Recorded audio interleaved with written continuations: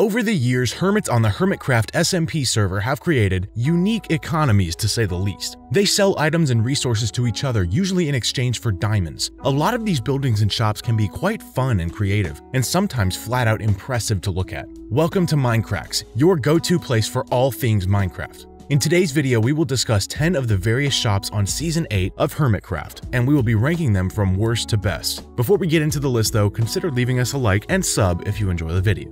Number 10. Mumbo Jumbo Harmless Harvest The ideas and concepts this season are wonderful, from Grian's shop on wheels, or tracks I guess, to Impulse's puns. Mumbo has the concept game on point here at Harmless Harvest. It's a very fun and unique concept, selling items that he obtained without killing anything. However, the aesthetic doesn't do it for me. The overuse of lanterns and the overall color palette and block choice is just not quite right. Mumbo may be a redstoner, but he still has built wonderful things before. This is simply not one of those things.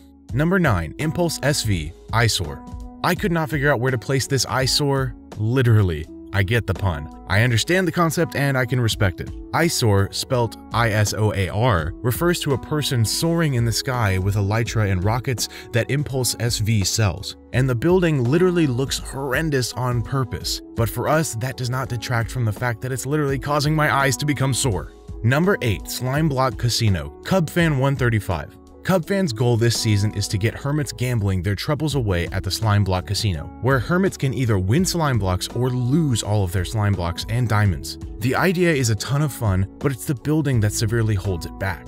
Like the rest of these shops, it was established quite early on and there are much cooler shops out there. The green and cobblestone interior cramped in such a tiny room with very little decoration is just not enough to make it any higher on the list.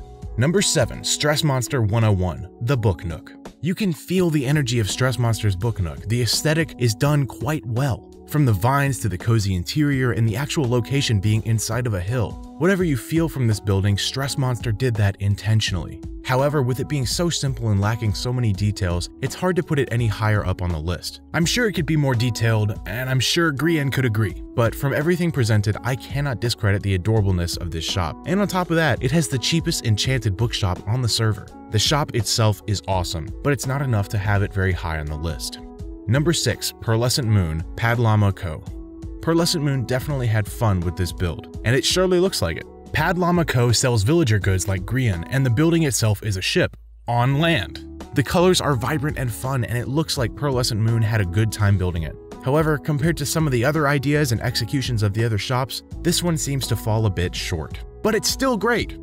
Number 5. Yes Wings Club Impulse SV Wels Knight Impulse and Wels Knight teamed up on this shop solely to compete with Iskall's No Wings Club, where you get rewarded for not using Elytra and flying around. However, this clubhouse of a shop tries to convince hermits to fly around everywhere by selling rockets and elytras. The building itself is impressive, taking on a modern resort style. Where I find this shop really cool is the complete contrast of Iskall's shop, being a humble cottage strung up in the air by chains. This fun storefront lands solidly at number 5.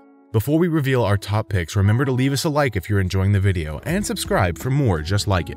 Gemini Tay Azalea Shop Azalea Shop created by Gemini Tay aims to sell Azalea related items to her fellow hermits. Azalea items were recently added in the Caves and Cliffs update, and setting up an early shop to capitalize on these new items is very smart by Gemini Tay. The shop itself is essentially the stump of a tree.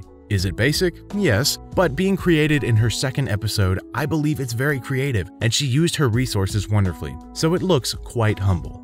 Number 3. Good Times with Scar, B. Cirque Scar shows off his impressive building skills yet again with his fun new Destroyer of Worlds, or shall I say, Destroyer of Worlds. No?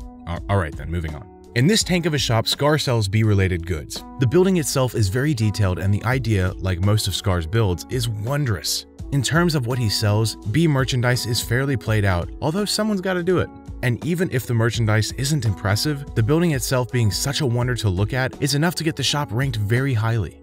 Number 2. G-Train, Grian. G-Train is not the name of an up-and-coming rapper, it's the name of Grian's shop. Grian, like a few other hermits, wanted to capitalize on the early game, so his first rendition of G-Train was a minecart going around in circles selling random stuff his villagers sold. However, humble beginnings can lead to enterprise. Today, the G-Train is a massive train. It may be stationary, but that does not stop Grian's big idea of sending minecarts throughout the server to sell the goods he gets from his villagers. Grian's creativity on his shop and his incredible building skills lands him a very high spot.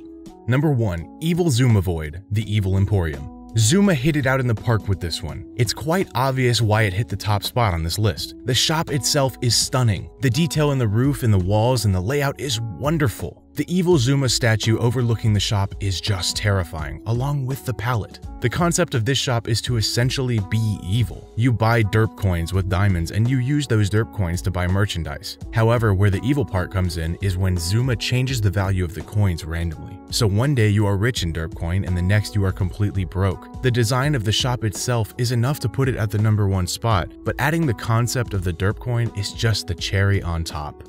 Thank you all for watching this list, ranking some of the shops on Hermitcraft Season 8. We hope you've enjoyed the video, and if you did, feel free to leave a like, and if you want to see more from Minecracks, click the subscribe button.